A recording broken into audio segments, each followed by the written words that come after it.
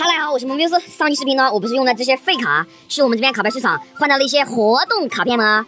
那没有看过上期视频的可以去看一下。那我今天呢，准备再去换一点，因为呢，我家里面废卡还有很多很多的，还不如拿去换点活动卡片，对吧？那我呢就随便拿了，放这个袋子里面。今天呢，我准备了一个更大的袋子，这个袋子的话，连我都可以装进去。我呢就把这些废卡多装点在这个袋子里面带过去吧。好了呀，应该差不多了呀。今天呢装的比较多，我本来还想装一点的，嗯，能装多一点的话就可以去多换那几张嘛。可是这玩意儿挺重的呀，我怕等下提不起呀。那今天咱们就先拿这些去换吧。走，现在我已经到卡牌市场楼下了。哇塞，真的好重呀，提不起呀。卡片我已经拿到这个地方了，然后呢也换到了。咱们来看看今天换到了一些什么卡吧。哇，PR 卡哎，这个呢好像是改版后的 PR 卡吧？捷德原始形态。P.R. 的特林加复合型，这个呢也是改版后的吧？然后是一张维克特利的，然后这里是一张盖亚 V 二型，然后这是一张欧布的欧布原胜。今天换到的一些全是一些 P.R. 卡呀，其实呢可以多换一点的，因为我今天带的废卡比较多呀。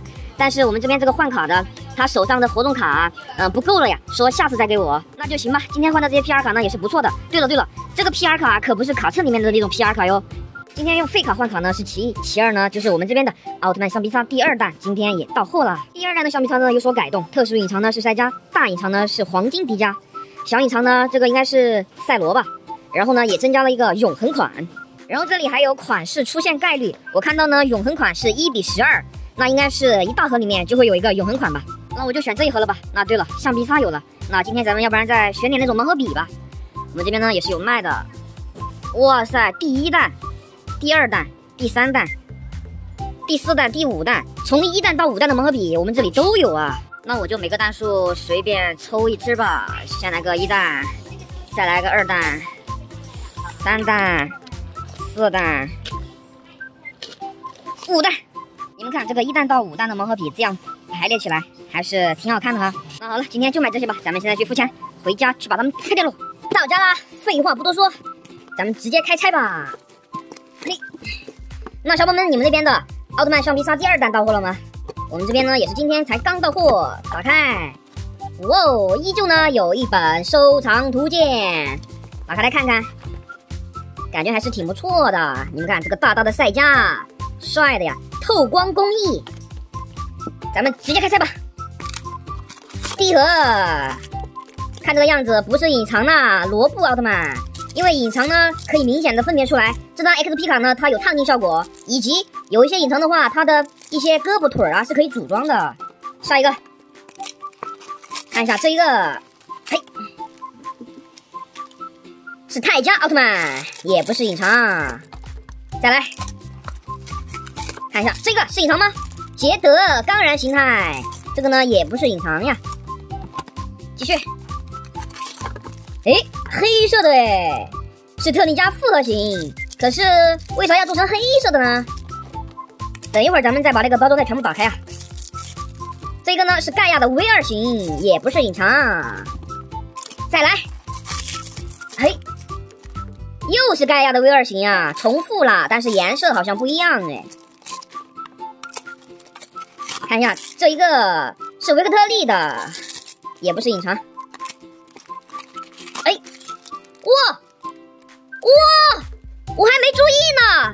是赛罗无限形态。这个呢，可是我要看一下，我要看一下，这个可是小隐藏里面最帅的一个吧？哇塞！虽然说不是大隐藏，但是也挺不错的。咱们把它拆出来看一下。呜呼！哇塞！今天运气真不错呀。然后你们看一下这张 XP 卡，这金沙烫金效果。可以可以，先放一边。那个保底的永恒款好像还没出呢，不是每一盒都有一个的吗？捷德原始形态不是隐藏，继续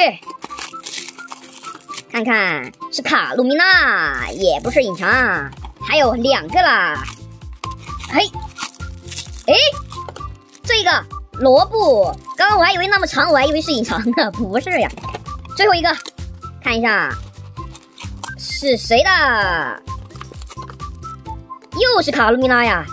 哎哎，这个卡通边拉不一样哎，这种泛着荧光的哈，这种的话就是永恒款。刚刚我还以为重复了，我都没在意呢。你们看，永恒款都是这个颜色儿。那这种身上带的这种涂青的这种永恒款呢，估计是比较隐藏一点的吧。我这个呢，应该就是普通版的永恒款。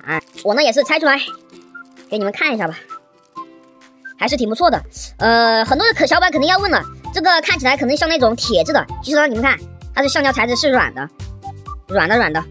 那刚刚我说呢，想把这些全部拆开的，呃，但是呢，我又想着，呃，我不拆开吧，因为呢，这些我要送给我的铁粉呀，我这个包装呢就不拆开了。然后接下来我拆一个盲盒笔吧，先把这个是第一弹的给拆掉，看看，呃，是特定家的呀，呃，感觉这种笔的话还是挺不错的。那剩下这几支呢，我都不拆了，我就拆这一支。我这些呢没拆封过的，也是要送给我的铁粉的。那喜欢这种奥特曼的橡皮擦，以及喜欢这种中性笔的，可以在评论下方留言评论。那今天呢？这一盒里面居然中到了一个小隐藏，而且是最帅的这一个赛罗无限形态。然后这个永恒款呢，刚刚最开始我已经说了，每一盒里面是保底会出一个的。我这个呢中的是卡路米拉的，感觉还算可以。看来我今天运气属实不错呀。那小伙伴们赶紧给我视频点赞，吸吸我的欧气吧。